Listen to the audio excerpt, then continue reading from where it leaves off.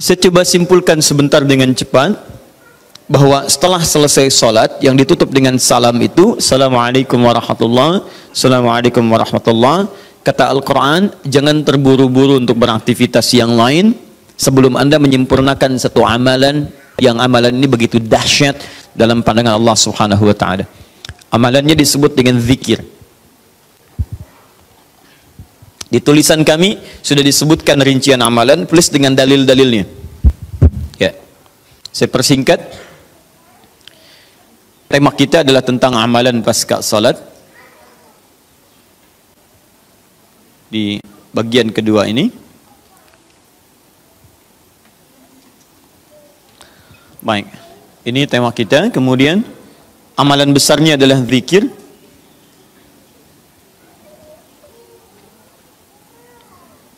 Dalilnya di Quran surah keempat An-Nisa ayat 103. Ini tema besar kita. فَإِذَا قَضَيْتُمُ الصَّلَاةَ فَاذْكُرُوا اللَّهَ Fokus. Maka jika anda telah tuntas mengerjakan salat, segeralah berzikir kepada Allah Subhanahu wa taala. Ingat, amalan pasca salat yang diutamakan apa? Zikir. Saya mau tunjukkan pada anda satu hal yang sangat mendesak.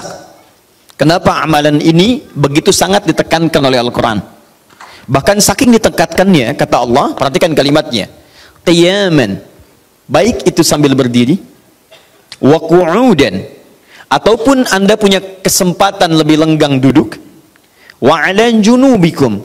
Atau bahkan dalam keadaan anda sedang payah pun untuk duduk atau bahkan berdiri, boleh sambil berbaring. Perhatikan, saking pentingnya amalan zikir ini, itu Al-Quran seakan menghadirkan semua situasi untuk menggunakan amalan ini. Ya. Bukan tidak ingin menoleransi, tapi ada sesuatu yang penting di sini. Saking pentingnya seakan-akan kalau dalam bahasa yang lain, tolong jangan tinggalkan ini. Ya, kalau Anda memang buru-buru, harus langsung bangkit pasca sholat. Ada yang bahkan setelah salam subuh, Assalamualaikum, Assalamualaikum. Saya harus kejar ke tempat pekerjaan, langsung mau berangkat. Nah, terburu-burunya Anda untuk mengejar pekerjaan itu, tidak menghalangi Anda untuk berpikir. Kalau bisa sambil jalan pun zikir aja. Ayo, lakukan. Kerjakan amalannya. Kalau anda senggang, duduk dengan tenang. Lakukan. Kalau amalan ini tidak penting, mustahil anda diminta untuk mengerjakannya, sekalipun dalam pekerjaan yang sifatnya darurat anda mesti lakukan. Paham sampai sini? Baik. Nah, nanti kita akan lihat apa rahasianya amalan-amalan ini, zikir ini. Kemudian kita nanti akan urutkan seperti pertemuan lalu telah saya turunkan beberapa bagian-bagiannya. Nanti kita akan gali apa esensi dan rahasia di balik kalimat-kalimat zikir yang kita sampaikan itu. Baik, saya percepat. Zikir seperti pertemuan lalu adalah setiap aktivitas yang mampu mengingatkan dan mendekatkan kita dengan Allah Subhanahu wa taala. Jadi ada dua nih. Satu ingat, kedua dekat. Awas ini selalu menyatu, terkait berkelindan, tidak akan pernah berpisah. Di orang yang ingat Allah, pasti memiliki kedekatan dengan Allah. Jelas ya? Baik, jadi kalau cuma ingat tidak membuat dia dekat, ini bermasalah. Ketika seseorang ingat pada Allah, hubungannya menjadi dekat dengan Allah. Ketika menjadi dekat, maka dia akan dipelihara oleh Allah Subhanahu wa taala. Dipelihara dari maksiat dan segala yang menyulitkan dia dalam kehidupannya. Makanya mustahil ada orang berzikir tapi berbuat maksiat kepada Allah. Apa nih? Mereknya akhir TV. Jangan, itu bir oh pakai bismillah dulu lah mungkin berkurang dosanya dikit enggak bisa jadi tidak akan bersanding taat dengan maksiat anda ingat Allah mustahil berbuat maksiat ya maaf seorang karyawan yang ingat Allah tidak akan bermaksiat dalam pekerjaannya seorang ibu istri yang ingat Allah tidak akan bermaksiat dalam rumah tangganya seorang anak yang ingat Allah tidak akan pernah bermaksiat dalam kehidupannya maka dari itu nanti kita akan lihat puncak zikir apakah hanya dalam pasca solat saja atau dalam aktivitas yang lainnya maka yang pertama, ini akan membantu mengingatkan dia kepada Allah. Yang kedua, membuat hubungannya dekat dengan Allah Subhanahu wa taala. Nah, amalan ini ada setidaknya 6 sampai 7 amalan. Hari ini saya janjikan untuk mengurutkan amalan-amalan ini. Ya, saya ingin tes dulu apakah Bapak Ibu masih ingat atau tidak. Satu apa? Istighfar. Istighfar. Saya tuliskan satu istighfar. Apa dalilnya? Cepat saja kalau tidak tahu katakan apa?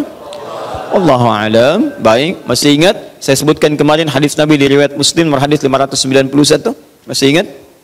Baik, ini ada istighfar. Baik, yang kedua apa? Allahu alam. Enggak ada Bu, Allahu alam. Baik. Assalamualaikum warahmatullahi Assalamualaikum warahmatullahi wabarakatuh. Astagfirullah, astagfirullah, astagfirullah. Allahu alam, Allahu alam, Allahu alam. Enggak ada. Baik. Baik, kita lihat ini istighfar atau masuk kepada kalimat thayyibah dalilnya Quran surah keempat ayat 103 kan? Kemudian yang kedua bisa juga bacaan Al-Quran. Bacaan Al-Quran. Baik Quran surah ke-15 dalilnya ayat ke-9 ya inna nahnu nazzalna dzikra. Kami telah turunkan Al-Quran sebagai zikir jadi kalau anda baca Al-Quran itu anda sedang berzikir. Kemudian bisa juga hafalan Al-Quran anda menghafal misalnya? Baik. Misal Anda tidak membaca tapi selesai sholat Anda membacakan ayat-ayat Quran sebagai hafalan. Ada ayat kursi misalnya, ada tiga seorang yang terakhir, ada kemudian ayat pertama sampai lima misalnya, Al-Baqarah, ya ada ayat-ayat yang lainnya, hafalan misalnya. Begitu Anda bacakan Anda sedang berzikir. Dalilnya Quran surah ke-54 ayat 17, ayat ke-22, ayat 32, ayat ke-40. Ketika Allah menyebut para penghafal Quran menyebutnya dengan proses berzikir. Walaqad yassarnal Qur'ana lidzikri. Kami telah mudahkan Al-Qur'an sebagai zikir. Ya, hafalan di sini zikir. Untuk dihafal untuk berzikir. Jadi kalau Anda pasca salat kemudian membaca ayat-ayat Quran dalam hafalan bukan menggunakan mushaf, maka Anda sedang berzikir kepada Allah Subhanahu wa taala. Dan nilainya empat kali lebih banyak dibandingkan dengan yang membaca. Ya. Nah. Hmm. But, doa. Doa itu juga sebagai zikir. Ya Quran surah ke-7 misal dalilnya ayat 205 wadhkur rabbaka fi nafsika tadarruan wa khifatan wa dunal jahdi minal qawl. Ketika Allah meminta kita berdoa kalimat doanya dalam bahasa perintah menggunakan kata zikir wadhkur rabbaka. Ayo minta berdoa sebut zikir kepada Rabbmu dalam dirimu dengan perasaan penuh harap penuh ketawaduan minta kepada Allah. Di ketika anda diminta untuk memohon berdoa kepada Allah kalimat doa itu menggunakan zikir. Jadi ketika anda sedang berdoa anda sedang berzikir. Bukankah saat berdoa anda ingat kepada Allah? Bukankah saat berdoa keadaan anda menjadi lebih dekat dengan Allah? Nanti kita akan lihat doa apa yang biasa dibaca Nabi pasca sholat dan seperti apa cara memohonnya. Ada rahasianya. Anda tidak menggunakan ini sangat disayangkan. Anda kehilangan momentum dipercepat untuk memudahkan seluruh proses kehidupan Anda. Lima, masih ingat? Salat. Salat. Nanti ada lagi amalan. Pasca salat, ada salat. Di begitu selesai, Assalamualaikum, Assalamualaikum. Kapan kemudian ini kita mesti tunaikan salat yang ini? Dan ada rahasianya juga Bahkan solat yang ini boleh jadi akan memberikan syafaat dengan izin Allah kepada hamba-hamba yang dirasakan kurang amalnya. Karena ketika amalan-amalan fardu tidak bisa menolong anda dari proyek akhirat yang telah anda cita-citakan untuk masuk surga itu, maka yang akan dicari pertama kali di antaranya adalah amalan yang ini. Maka anda ketinggalan dari itu, itu yang bisa membuat situasi tegang saat di akhirat.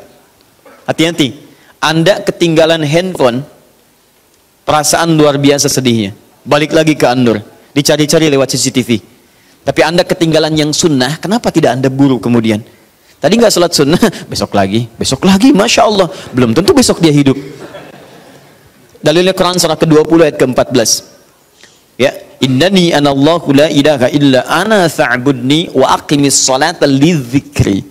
Saya Allah tidak ada Tuhan yang layak disembah kecuali saya. Sembah saya. Bagaimana cara nyembahnya tunaikan salat sebagai zikir kepada saya 6 memperbanyak menyebut Allah menyebut nama Allah atau juga dengan al-asmaul husna. Al-asmaul husna.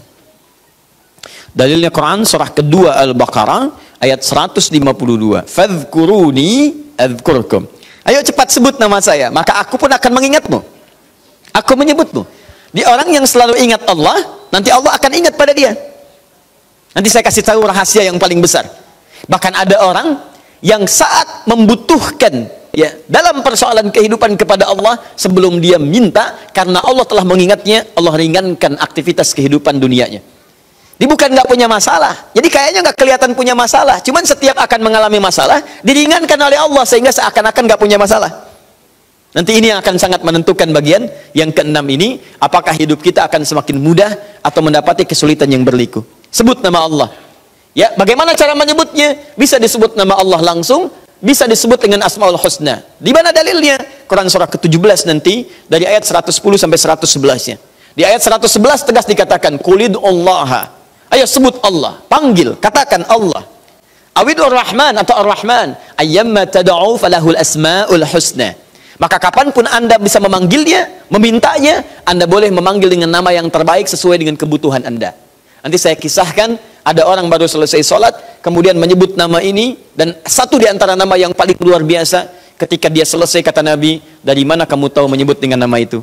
Tahukah engkau, jika engkau melakukannya, maka engkau telah memanggil Allah, yang dengan panggilan itu, jika meminta akan segera diberikan, jika berdoa akan segera dikabulkan. Rahasianya luar biasa. Nanti kalau sudah tiba waktunya. Hadisnya sahih. Saking sahihnya ini ditempatkan oleh Sayyid Qutub di dalam satu kitab yang Al-Aqaid Al-Islamiyah padahal kitabnya tentang akidah ketika membahas tentang asma wa sifat nama-nama Allah Subhanahu wa taala. Hadis ini dimasukkan padahal hadis ini amalan tentang amalan pasca salat. Ketujuh bagian terakhir ini adalah indikator yang paling penting yang terakhir ini sampai saya pisahkan tersendiri dalam aktivitas harian. Zikir paripurna. Ini yang zikir paripurna. Makanya saya kasih garis. Ini amalan pasca salat disebut dengan zikir bukan amalan biasa tapi semua amalan ini akan dibawa kepada seluruh aktivitas hariannya. Bukankah pasca sholat ada yang jalan, pasca sholat ada yang kerja, pasca sholat ada yang makan, pasca sholat bahkan ada yang masak, pasca sholat ada yang bicara, maka orang yang pasca sholat zikirnya itu benar latihan zikirnya, maka makannya adalah makan dengan berzikir kepada Allah. Bicaranya zikir kepada Allah. Jalannya zikir kepada Allah subhanahu wa ta'ala. Nanti saya turunkan ayat-ayatnya bagaimana orang berjalan sambil zikir. Bagaimana orang kemudian makan zikir. Bagaimana orang bicara zikir. Jangan-jangan selama ini kita hidup 24 jam tapi aktivitas kita tidak dalam rangka zikir kepada Allah subhanahu wa ta'ala. Nah, dalilnya Quran surah ketiga Ali Imran ayat 190 sampai 191. Inna fi khalqis samawati wal ardi wa ikhtilafil laili wan nahari la ayatin liulil Siapa ulul albab itu? Ayat selanjutnya, alladzina Allah. Mereka itu orang-orang yang senantiasa zikir pada Allah Subhanahu wa taala. Qiyaman, dalam keadaan dia berdiri, wa qu'udan ataupun dia duduk, wa ala junubihim atau bahkan sedang tidurnya. Tidurnya disebut sebagai zikir, berdirinya disebut sebagai zikir, duduknya disebut sebagai zikir. Dan ahli zikir ini adalah orang-orang yang akan dimuliakan bahkan oleh Allah ketika kembali ke akhirat nanti dan dipuji-puji oleh Allah Subhanahu wa taala.